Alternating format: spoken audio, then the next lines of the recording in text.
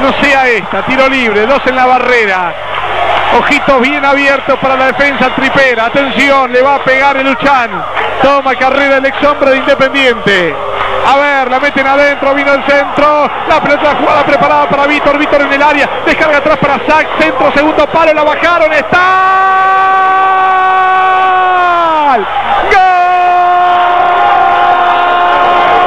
De Rafaela. Albertengo de Rafaela, te lo dije. Pero te lo dije hace un minuto, profe, te lo dije. El momento donde más atento había que estar. El momento donde no había que dormirse. Una pelota detenida, jugada preparada. La jugaron para Víctor que la saltó a la derecha.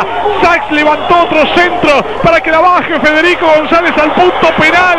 Y no estaba solo Albertengo. Estaba Albertengo, estaba Víctor, estaba Bastía. Había tres de Rafaela. Cualquiera lo podía meter. Albertengo lo sentenció a Monetti fuerte de zurda adentro. El delirio. En el monumental de Rafaela. Se duerme gimnasia. Un despertador para la defensa. En un momento crucial en 39. En 39. Se vuelve a salvar gimnasia. Lo gana por Albertengo el equipo de Sensini. 221 Radio. y todo se inició en una pelota parada frontal. Llegó hacia el área, vuelve a salir, pero hacia la derecha, vuelta al centro, pasado el segundo palo, la pelota que ingresa al área y Albertengo esta la saben de memoria. Los hombres de gimnasia miraron una y otra vez, mucho no podían hacer y está ganando Rafael 1-0, aprovechando el conocimiento del campo.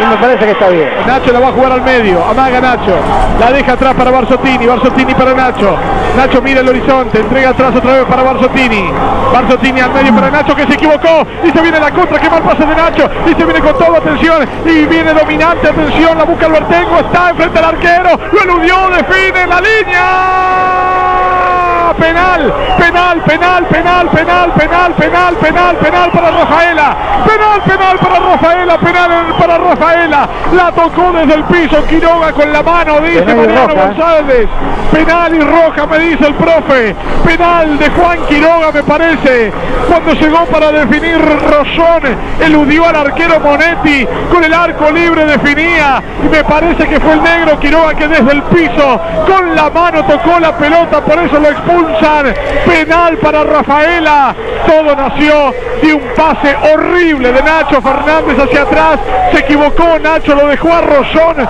que arrancó en la mitad de la cancha, lo dejaron venir, y es penal para Rafaela, profe. Ahí va, penal, viene el remate.